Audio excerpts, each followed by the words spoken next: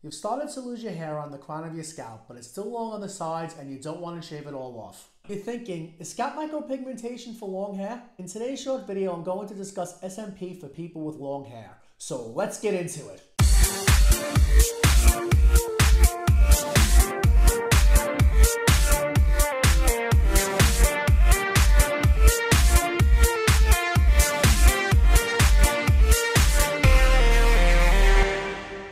What's up guys, I'm Vincent Mulvey from Ultra Scalp Ink., SMP specialist in the UK.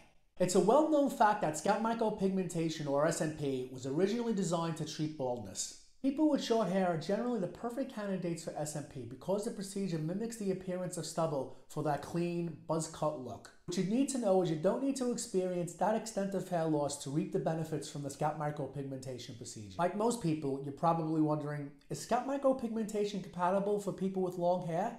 And the answer is a resounding yes. When performing the procedure, the practitioner is filling in the area with hair loss, adding density. Who are the possible candidates for this type of SMP treatment?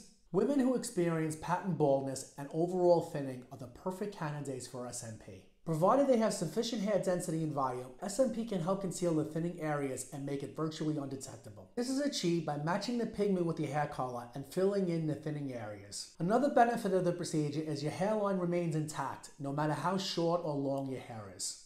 Men with thinning hair.